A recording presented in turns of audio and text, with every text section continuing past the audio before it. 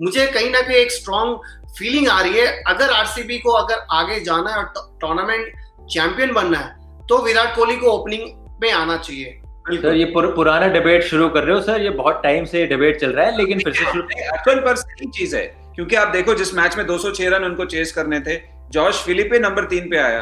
पर सबसे best chaser कौन है? अभी दुनिया में हम चेसिंग स्पेशलिस्ट किसको बोलते हैं?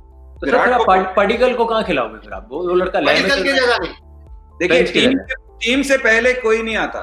टीम के लिए क्या हित में क्या है? जिस साल विराट ने ऊपर बल्लेबाजी की टीम ने इतना अच्छा किया तो क्या था? क्योंकि आप चीज़ें देखते हैं ना आप किससे बॉलिंग करा सकते हैं किससे बैटिंग करा सकते हैं किससे कब करा सकते हैं। पाडिकल बहुत ब्रिलियंट प्लेयर है। One for the future class act कोई डिनायल नहीं है। पर टीम से बड़ा कोई नहीं है। टीम के हित में आपको क्या करना है? टीम के हित में मेरा मानना है मेरा क्रिकेटिंग सेंस मनीष का मनोज का क्रिकेटिंग सेंस यहाँ कितने सारे विशेषज्ञ हैं सबका क्रिकेटिंग सेंस ये कहता है कि विराट जैसा प्लेयर जब 20 ओवर नहीं खेलेगा तो कैसे होगा? अब मेरा ये मानना है अर्जुन की देवदत्त की जगह नहीं। देखिए ये जब प्लानिंग होती है ना जब डिसीजंस लिए जाते हैं ये पहले मैच के पहले से लिया गया है कि विराट तीन नंबर आएगा। हम्म।